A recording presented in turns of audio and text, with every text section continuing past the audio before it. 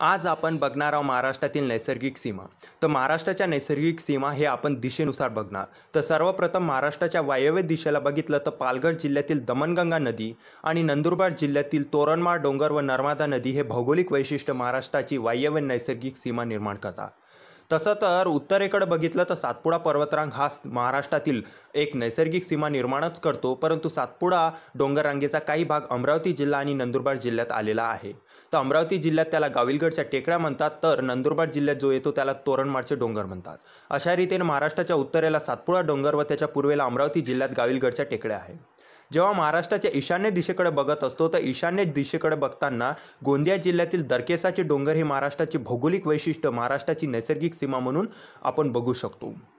तसं तर पूर्व जिल्ह्यातनी बघितलं तर पूर्वेकडं जे आहे चिरोली सूरजगड भामरागड यासारख्या ज्या टेकड्या आहे या गडचिरोली जिल्ह्यात स्थित असून हे महाराष्ट्राचे पूर्वीची नैसर्गिक सीमा निर्माण करतात.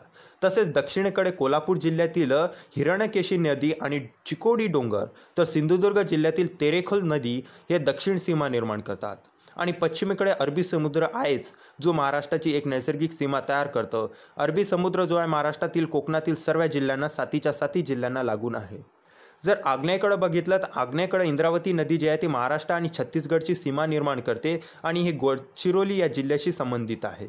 म्हणून इंद्रावती नदी ही महाराष्ट्राची आग्नेय सीमा तयार करत असते.